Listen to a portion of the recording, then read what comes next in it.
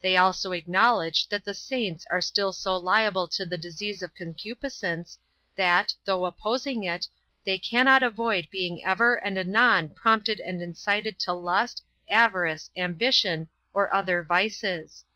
It is unnecessary to spend much time in investigating the sentiments of ancient writers. Augustine alone may suffice, as he has collected all their opinions with great care and fidelity. Any reader who is desirous to know the sense of antiquity may obtain it from him.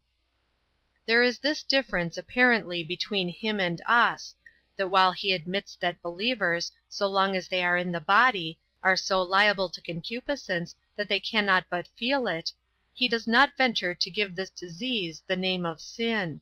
He is contented with giving it the name of infirmity; and says, that it only becomes sin when either external act or consent is added to conception or apprehension; that is, when the will yields to the first desire. We again regard it as sin whenever man is influenced in any degree by any desire contrary to the will of God. Nay, we maintain that the very pravity which begets in us such desires is sin. Accordingly, we hold that there is always sin in the saints until they are freed from their mortal frame, because depraved concupiscence resides in their flesh, and is at variance with rectitude. Augustine himself does not always refrain from using the name of sin, as when he says, "Paul gives the name of sin to that carnal concupiscence from which all sins arise. This in regard to the saints loses its dominion in this world, and is destroyed in heaven." In these words he admits that believers, in so far as they are liable to carnal concupiscence, are chargeable with sin.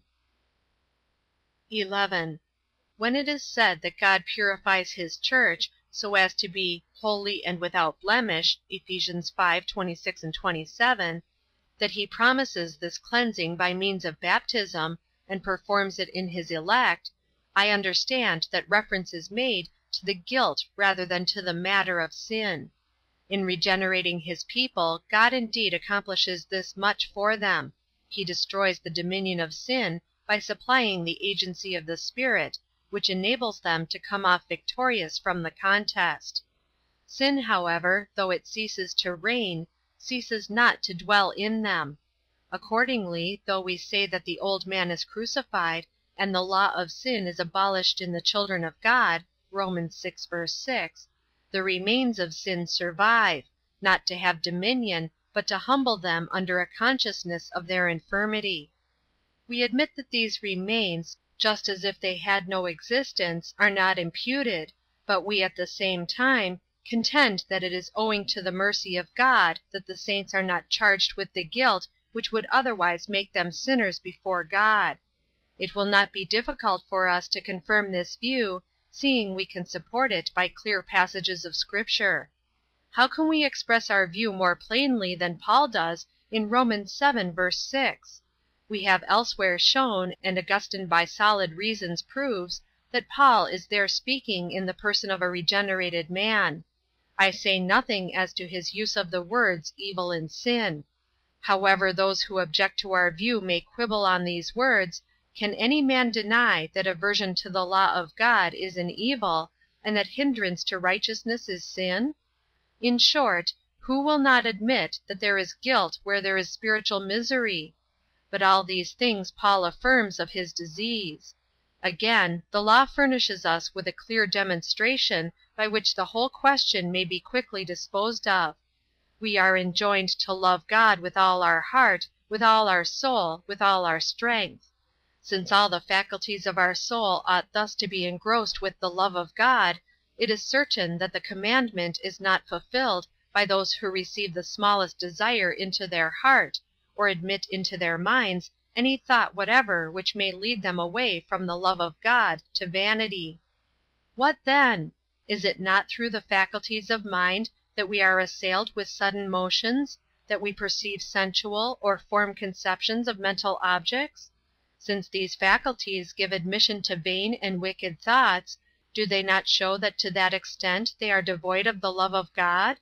He, then, who admits not that all the desires of the flesh are sins, and that that disease of concupiscence, which they call a stimulus, is a fountain of sin, must of necessity deny that the transgression of the law is sin.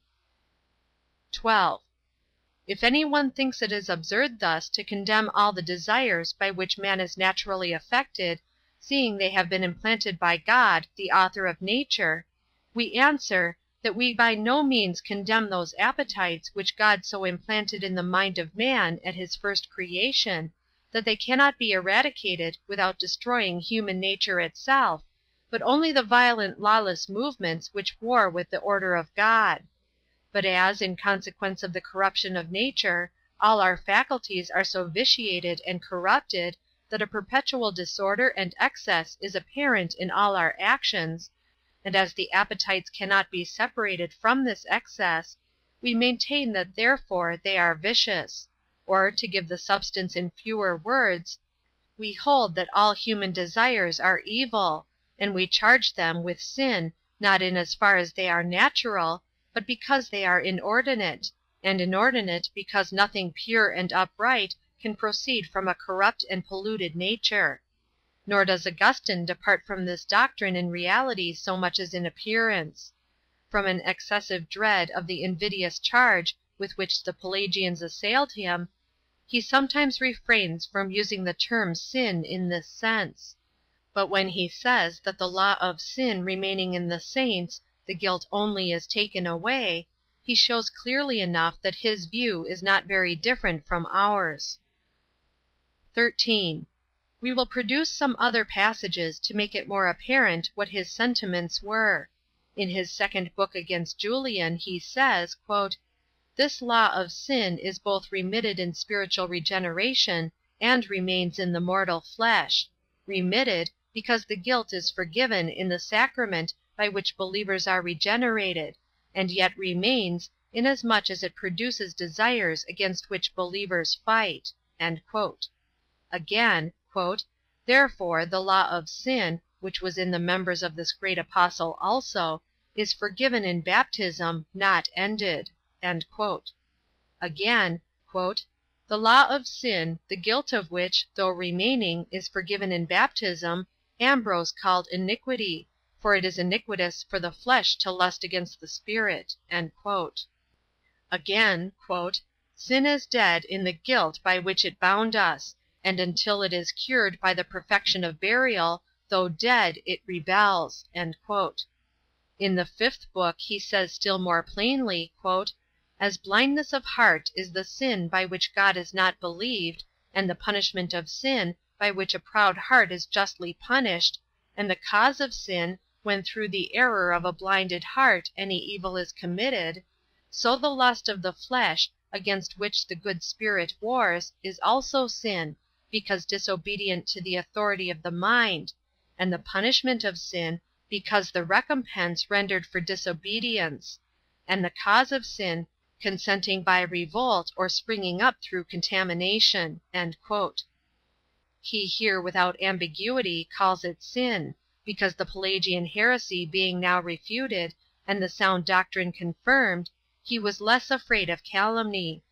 Thus also, in his forty first homily on John, where he speaks his own sentiments without controversy, he says, "If with the flesh you serve the law of sin, do what the apostle himself says, Let not sin therefore reign in your mortal body, that ye should obey it in the lusts thereof. Rom. 6:12. He does not say, Let it not be, but Let it not reign. As long as you live there must be sin in your members, but at least let its dominion be destroyed. Do not what it orders."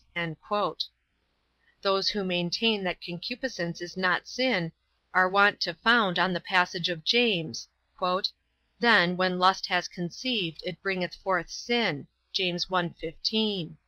But this is easily refuted. For unless we understand him as speaking only of wicked works, or actual sins, even a wicked inclination will not be accounted sin; but from his calling crimes and wicked deeds the fruits of lust, and also giving them the name of sins, it does not follow that the lust itself is not an evil, and in the sight of God deserving of condemnation.